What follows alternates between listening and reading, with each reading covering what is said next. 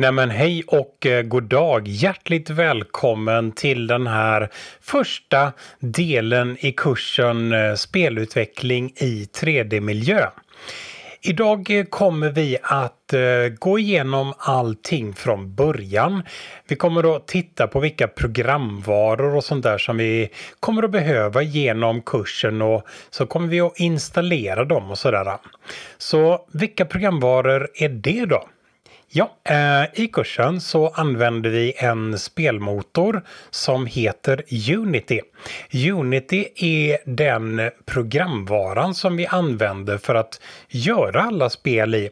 I det här Unity så kan man då plocka in färdiga 3D-modeller. Vi kan plocka in bilder och ljud och allt sånt här och sätta det samman för att bilda ett spel. Vi kommer att behöva skriva lite programkod och det gör vi också i ett kompisprogram till Unity som heter eh, Visual Studio och det följer med när man installerar det. Vad det gäller andra programvaror i den här kursen så behöver vi ju ljud också. I kursen så kommer jag gå igenom hur man gör ljud med eh, programmet Audacity eller Audacity. Och eh, om det är så att du har licens på något annat program så kör på det där istället. Vi kommer att behöva att pillra en del med grafik såklart. Vi kommer att vilja ha lite grafiska komponenter i våra spel såklart. Och eh, jag kommer att gå igenom eh, alla mina grafiska komponenter och så vidare med eh, gratisprogrammet GIMP. Eh, det finns många andra grafikprogram också man kan använda sig av. Det finns ett eh, väldigt bra gratisprogram som heter Krita. Har man eh, Windows så kanske man vill använda Paint.net och så vidare. Det finns ett annat ganska stort och ganska vanligt grafikprogram som heter Photoshop någonting. Har man en licens på Photoshop så kan man absolut använda Photoshop för all grafik som vi kommer att behöva i den här kursen också. Om du inte har en licens på Photoshop så behöver du definitivt inte köpa någon Photoshop-licens. De är lite små, dyra de där. Alla exempel som jag går igenom i kursen använder jag ett gratisprogram till. Troligen kommer jag att använda mest GIMP och kanske ibland Krita, vad vet jag. Utöver ljud och eh, grafik så är det ju rätt kul om vi har någon form av 3D-modell också.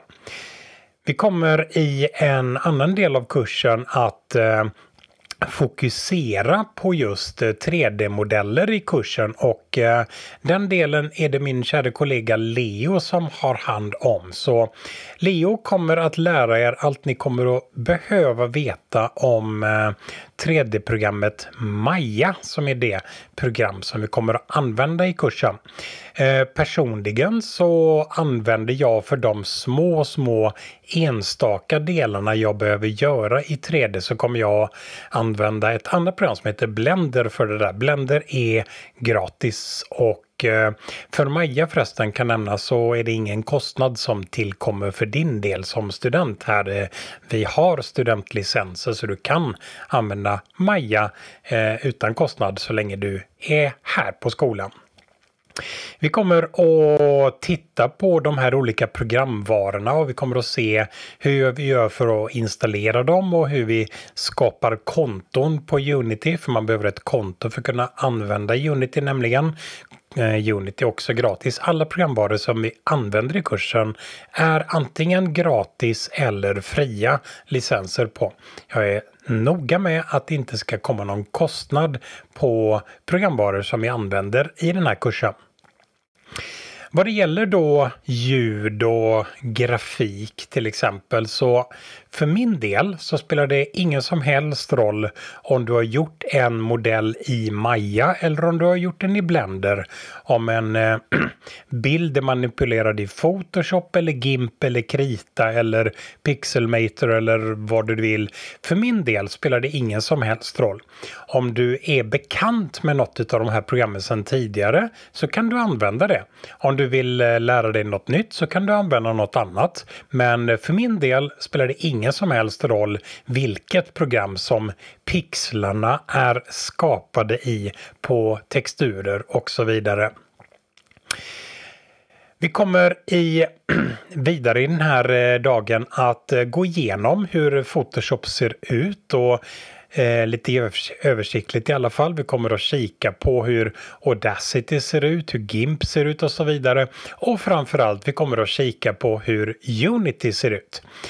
Unity är ju det programmet som vi kommer att använda oss av genom hela kursen. Så vi kommer att gå igenom Unity och se hur det funkar.